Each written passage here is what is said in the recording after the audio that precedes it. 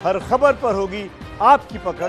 Download कीजिए ABP live app देखिए बिहार में अगर चुनाव है तो एमपी में भी 28 सीटों पर उपचुनाव है। लेकिन ये उपचुनाव इतना अहम है कि मंत्री तक वोट के लिए विरोधियों के चरणों में लौटते जा रहे हैं। आठ बजे की हमारी तीसरी सबसे स्पेशल रिपोर्ट इसी पर आधारित है। आखिर वोट के लिए नेता क्या कुछ नहीं करते हैं? आप देखिए इस रिपोर्ट में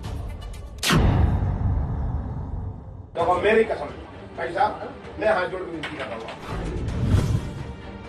अजब एमपी की गजब कहानी भाई साहब मेरी कसम है आपको मैं हाईलाइट विरोधी के शीर्ष चरणों में मंत्री जी का साष्टांग मैं नहीं मैं फिर मेरी बात सुनो मैं आपसे सबसे रोकूँगा देखो आप मेरी निवेदन सुनो वोट के लिए कांग्रेस नेता की चरण वंदना मेरी कसम भाई साहब मैं हाथ जोड़ के हूँ ना मोबाइल कैमरे में कैद ये वीडियो मध्य प्रदेश उपचुनाव की सबसे ताज़ा और सबसे मज़ेदार तस्वीर है। मैंने भाई साहब आपसे निवेदन कर लिया आपको मेरे साथ तो मैं मेरी कसम तुमको मेरे साथ मैं आपसे बोल रहा हूँ मैं आपको अपने साथ मेरी मेरी बहुत बड़ी मजबूरी आ गई है। नहीं मुझे आपको अपने साथ मैं आपसे मेरे मेरे साथ चलो मैं मजबूरी वापस ले लूँगा मैं आपसे फिर बोल रहा मेरी बात मानो। मैं नहीं नहीं, नहीं, मैं तो फिर मेरी बात सुन मैं आपसे सबसे रोकूँगा आप मेरी निवेदन सुनो मैं चल एक छोटे से कमरे में सोफे पर दो लोग बैठे हैं। एक पीला कुर्ता सफ़ेद पायजामा पहने और दूसरा हरी टी शर्ट और ट्रैक सूट वाला शख्स। पीले कुर्ते वाले ये महाशय मध्य प्रदेश के ऊर्जा मंत्री प्रद्युम्न सिंह तोमर हैं। ज्योतिरादित्य सिंधिया के साथ कांग्रेस छोड़कर बीजेपी में आए तो इनाम में मंत्री पद मिला। और अब ये ग्वालियर से बीजेपी की टिकट पर उपचुनाव लड़ रहे हैं। दूसरी तरफ़ कांग्रेस के सेक्टर अध्यक्ष रघुनाथ सिंह तोमर हैं, जिनसे मंत्री जी अपने लिए प्रचार करने की जिद कर रहे हैं। देखो मेरी कसम भाई साहब मैं हाथ जोड़ के विनती कर रहा हूँ। ऊपर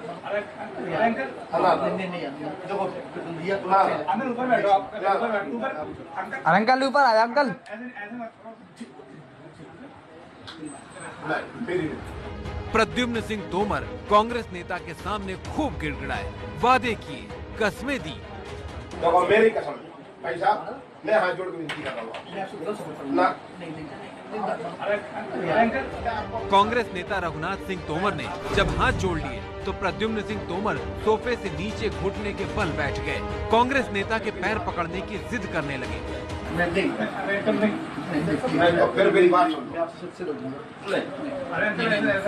आप मेरी निवेदन सुनो मंत्री जी की ये दशा देखकर कांग्रेस नेता के बेटे का दिल पसीज गया। कहा पापा तो आपको ही सपोर्ट कर रहे हैं। इस में सबसे बोल दूँगा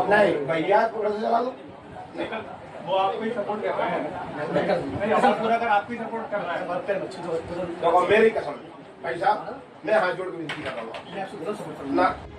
प्रद्युम्न सिंह तोमर का ये वीडियो अब मध्य प्रदेश उपचुनाव में चर्चा का विषय बन गया है। चूँकि मामला ज्योतिरादित्य सिंधिया के गृह क्षेत्र का है, इसीलिए इसकी अहमियत और ज़्यादा हो गई है। ये वीडियो बताता है कि बगावत कर बीजेपी में आए कांग्रेसी किस दौर से गुजर रहे हैं। इस वीडियो को ट्वीट करते हुए मध्य प्रदेश कांग्रेस के पूर्व अध्यक्ष अरुण यादव ने लिखा देखिए कैसे एक बिकाऊ मंत्री ने कांग्रेस के टिकाऊ कार्यकर्ता के आगे घुटने टेक दिए। कांग्रेस के चंद नेता बिकाऊ हो सकते हैं, मगर कांग्रेस का प्रत्येक कार्यकर्ता टिकाऊ है। दिग्विजय सिंह ने भी मौके को हाथ से जाने नहीं दिया। बीजेपी पर निशाना साधते हुए ट्विटर पर लिखा, सिर्फ़ यही फ़र्क है बिकाऊ और टिकाऊ में।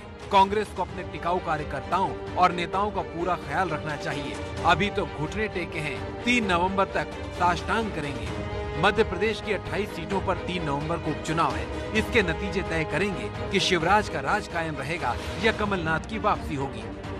ये चुनाव ज्योतिरादित्य सिंधिया के लिए नाक की लड़ाई है, लेकिन जिस तरीके से उनके गढ़ में उनके उम्मीदवार को गिड़गिड़ाना पड़ रहा है, उससे बीजेपी की चिंताएँ ज़रूर बढ़ गई होंगी।